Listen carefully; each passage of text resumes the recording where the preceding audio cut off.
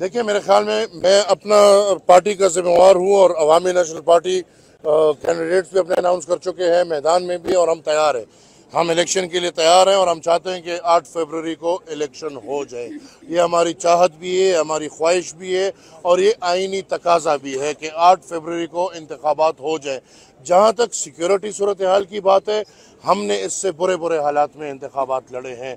हमने उन इंतबात में हिस्सा लिया है 2013 में, जहाँ हमारे लीडर्स और कैंडिडेट्स को तो छोड़ दें, ये हाजी साहब अल्लाह इनको ज़िंदगी दे।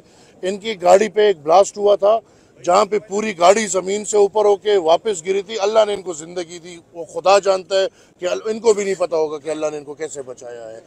पर बचाने वाला वो है हमने उन हालात में जहाँ पे हमारे इलेक्शन ऑफ़िस पे धमाके हो रहे थे जहाँ हमारे वर्कर्स पे धमाके हो रहे थे और फिर आपने देखा कि 2018 में उसके बाद हमने अपना भाई हमारी पेशावर में हमारी कमर टूटी हुई है। ये तो अल्लाह ज़िंदगी दे आ, समर बहन को कि वो निकल के उन्होंने हमारी वो कमर को पेशावर में सहारा दिया हुआ है। वरना 2018 में हमारा जवान भाई हारून बिलोर जिस तरह हमें शहीद हमारे से शहीद हुआ था तो ये हालात हमारे लिए नए नहीं है। हाँ रियासत की ये जिम्मेवारी बनती है कि वो आ, आ, अमन अमान के हालात को यकीनी बना के फ्री एंड फेयर इंतबात